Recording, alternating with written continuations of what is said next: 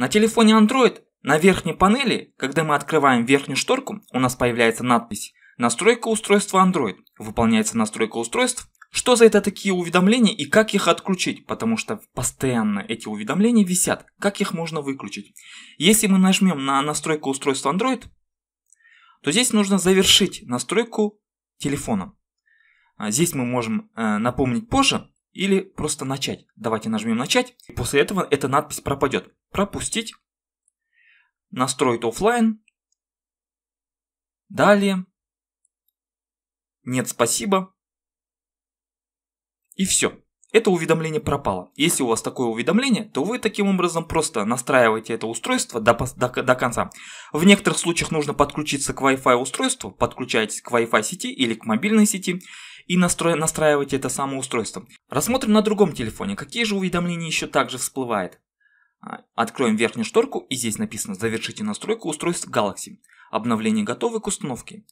А, эти самые уведомления постоянно всплывают точно так же. Для того, чтобы завершить настройку, нужно подключиться повторно к Wi-Fi сети и настроить э, это устройство. Допустим, завершить настройку устройства Galaxy. Нажмем на него, подключаемся к Wi-Fi сети. К Wi-Fi сети мы подключились. И происходит подготовка к настройке. Начать не копировать. Здесь нужно ввести учетную запись от Google. Давайте нажмем «Далее».